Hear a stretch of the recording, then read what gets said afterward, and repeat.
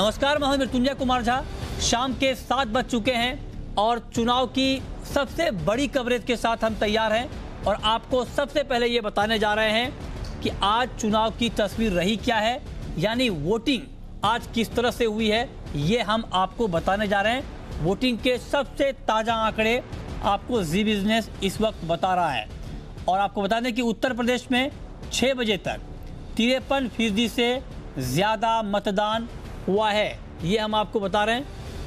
हाँ ये देखिए आपकी स्क्रीन पर आंकड़े हैं। उत्तर प्रदेश में छः बजे तक तिरपन फ़ीसदी से ज़्यादा वोटिंग। बिहार में छः बजे तक तिरपन दशमलव छः सात फ़ीसदी मतदान हुआ है। उड़ीसा में छः बजे तक चौंसठ फ़ीसदी से ज़्यादा। ये ताज़ा आंकड़े चुनाव के हम आपको बता रहे हैं कि आज अलग अलग राज्यों में कितनी वोटिंग हुई है। राजस्थान में छः बजे तक तिरसठ फ़ीसदी से ज़्यादा वोटिंग हुई है। महाराष्ट्र में छः बजे तक साढ़े इक्यावन फ़ीसदी वोटिंग हुई है और एमपी में छः बजे तक करीब करीब अट्ठावन फ़ीसदी वोटिंग हुई है और एमपी में छः बजे तक करीब करीब अट्ठावन फ़ीसदी वोटिंग के आंकड़े सामने आए हैं। ये वोटिंग के सबसे ताज़ा आंकड़े इस वक्त आप जी बिज़नेस पर देख पा रहे हैं। आपको बता दें कि झारखंड में छः बजे तक तिरसठ दशमलव सात छः फ़ीसदी और पश्चिम बंगाल में छः बजे तक करीब करीब साढ़े छिहत्तर फ़ीसदी मतदान हुआ है। जम्मू कश्मीर में सबसे कम छः बजे तक 9.79 परसेंट। ये आंकड़ा जम्मू कश्मीर का है, जो छः बजे तक का आंकड़ा हम आपको बता रहे हैं। सबसे ताज़ा आंकड़े चुनाव के इस वक्त के।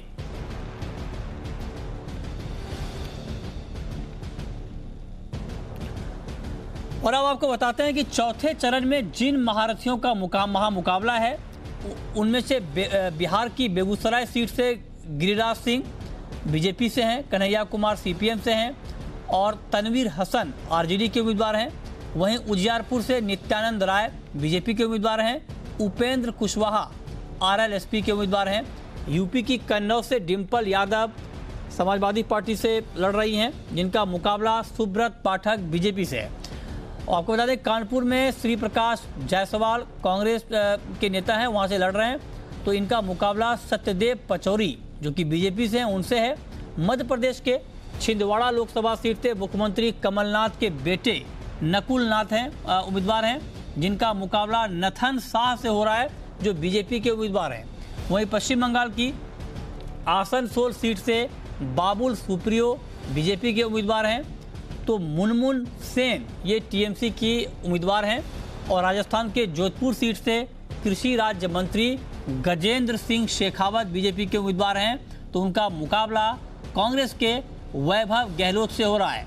जो मुख्यमंत्री अशोक गहलोत के बेटे हैं, वहीं यूपी की फरुखाबाद सीट से सलमान खुर्शीद का मुकाबला कांग्रेस के उम्मीदवार हैं और उन्नाव सीट से साक्षी महाराज बीजेपी के दिग्गज उम्मीदवारों की किस्मत ईवीएम में अब कैद हो गई है। तो ये कुछ बड़े चेहरे हमने आपको दिखाए हैं, जिनकी किस्मत का फैसला आज ईवीएम में बंद हो गया है। आज जो देश में लहर प्रधानमंत्री नरेंद्र मोदी जी की लोकप्रियता की पूरे देश के कोने कोने में देखने को मिल रही है, ये अपने आप में ऐतिहासिक है। शायद 2014 के चुनाव में भी इस प्रकार का उत्साह हमने कई राज्यों में नहीं देखा था।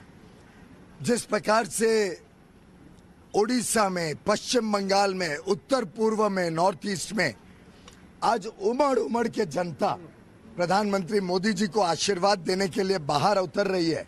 मैंने प्रदेश के आम जनता के लिए, प्रदेश के विकास के लिए आशीर्वाद मांगा। ये प्रश्न आज केवल छिंदवाड़ा के चुनाव का नहीं है, पर मध्य प्रदेश के भविष्य का है। Youth is now youngsters have now become youth. मैंने रिस्पॉन्सिबल यूथ जो आईडी कार्ड्स वोटिंग वगैरह करने की तैयारी में है।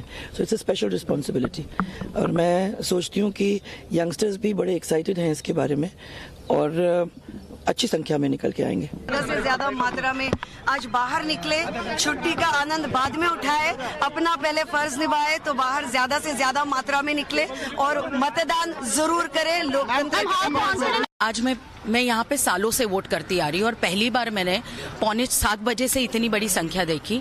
ये लग रहा है कि मुंबई कर बाहर आके वोट करेंगे। ये इश्यूज़ मुंबई के वही है जो मैं हर वक्त अपने चुनाव के वक्त भी बोल रही हूँ डेवलपमेंट ऑफ़ मुंबई। मुंबई कर जिस रूप से जीडीपी में सबसे ज़्यादा कॉन्ट्रीब्यूट करता है, उस मुंबई कर ने आगे आके वोट करना चाहिए तो मुंबई कर को महाराष्ट्र में शिवसेना, भारतीय जनता पार्टी की युति की विजय को देखते हुए बौखलाहट है उन राजनीतिक कैंपों में जो अपनी कुनीतियों को परास्त होते देख रहे हैं। डंका बच चुका है। कमल कई पोलिंग स्टेशंस पर न सिर्फ़ खिल चुका है, बल्कि तीर कमान भी लक्ष्य को भेद रहा है। भाजपा सेना की युति पूरे महाराष्ट्र में विजय श्री का जय घोष कर चुकी है।